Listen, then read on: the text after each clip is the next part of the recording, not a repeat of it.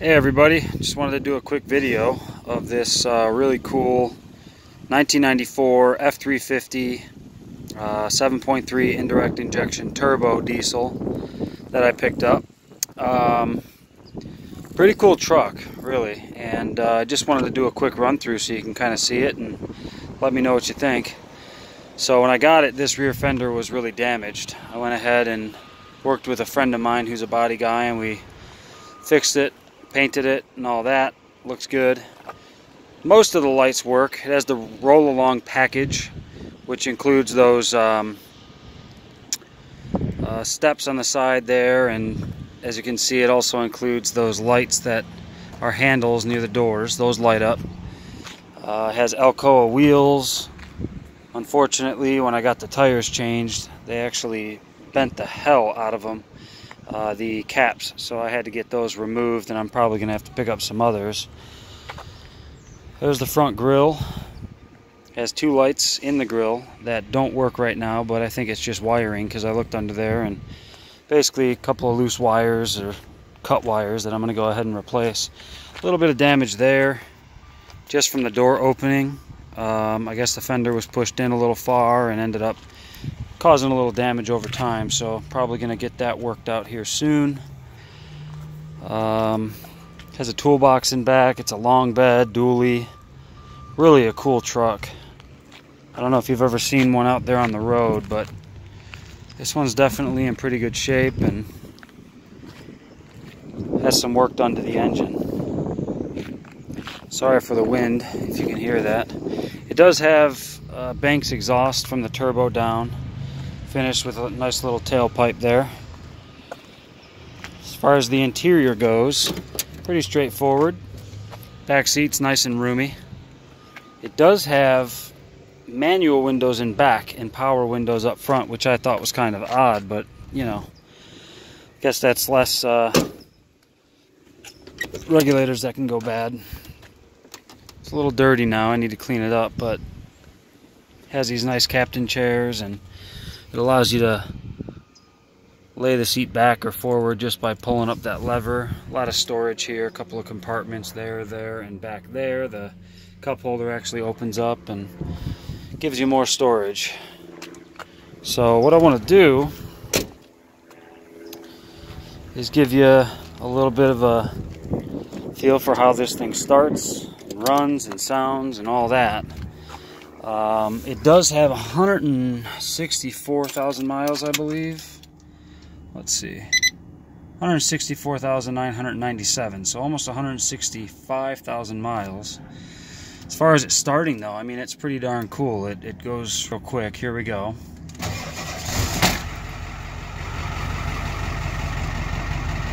Oil pressure sensor's bad, doesn't work. As you can see, the engine's kind of cold. There is a pyro gauge up here flashing, but you can see it's at 147 Fahrenheit right now. So it's not cold, but it's fairly cold. Um, these switches, one of them actually engages the transmission fully, so when you're going down a hill, you can use the engine as a brake. Uh, this one here turns all the exterior lights on. It does have a brake controller as well, a CB radio, turn overdrive off as you can with most trucks right there. Well, let me go ahead and pop the hood. Show you how clean this thing is.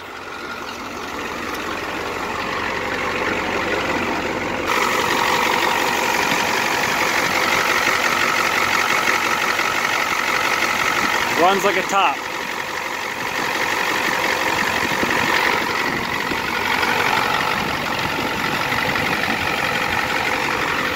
Pretty clean.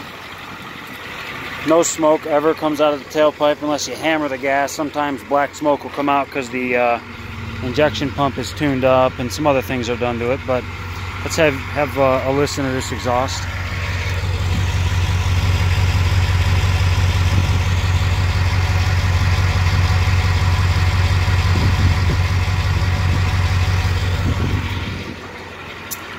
Good sounding truck.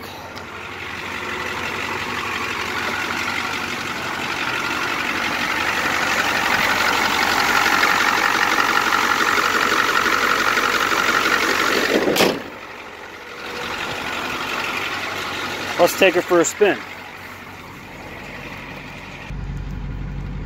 All right, let's go.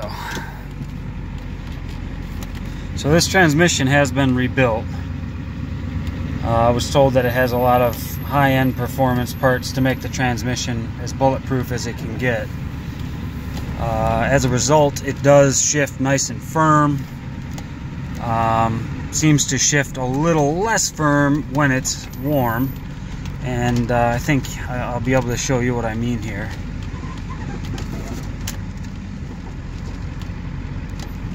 Let me go ahead and give it some here.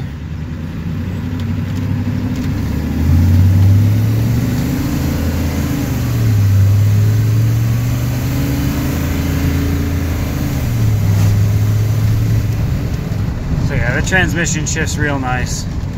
I didn't mean it was not shifting firm as in, you know, slipping or anything like that. It absolutely never slips or anything like that. So uh, sometimes it does just push into gear nice and solid. Uh, but when it's a little warmed up, you don't feel anything like that. It's just perfect smooth shifting.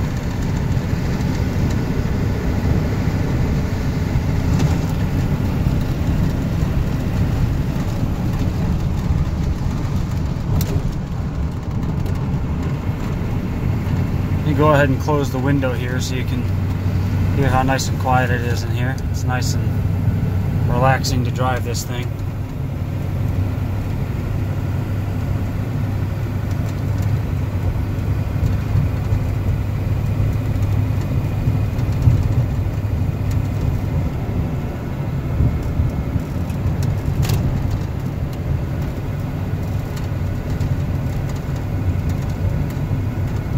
when I get around this turn, I'll, I'll show you if I hammer the gas. Let's see if I can get a nice little puff of black smoke to come out.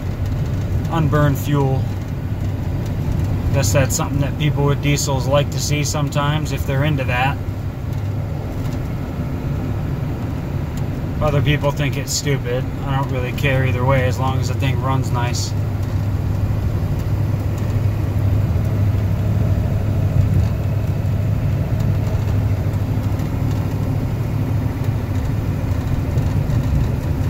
let's see if uh, we can get a little puff of black smoke here. I'm going to hammer the gas.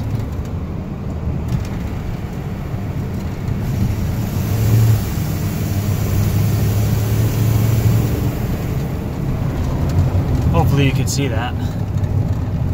This thing's fast. I mean, for a big truck like this, I've always been told that the indirect injection 7.3 isn't very good, but I've also read that they're extremely reliable it's uh, again with 165,000 miles the thing runs like it's brand new and it has extremely good um, response when you hit the gas. I mean it goes you know? It's just a really cool truck to drive. As you can see temperature is always steady. It always stays around 195 197 goes to 201 then comes back down to 195 so the cooling is working as it should. Never had any issues with that whatsoever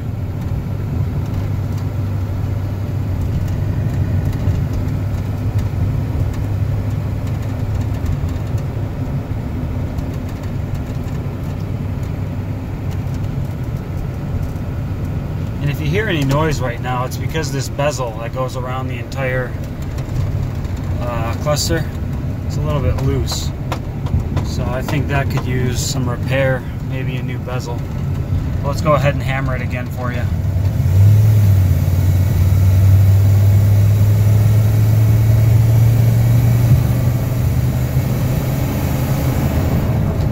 The thing just moves.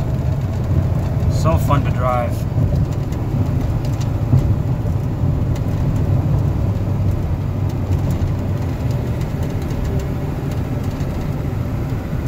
Well, I hope you like this video. I just like to share the things that I pick up and really like this truck, man. It's uh, something that could tow a lot, I'm sure. Very reliable, sounds good, good response, drives good. No weird noises, pops, squeaks, nothing like that. Just a good solid Ford truck, so let me know if you have any questions. I'd love to see your build on these uh, this 7.3. indirect injection turbo. Best of luck.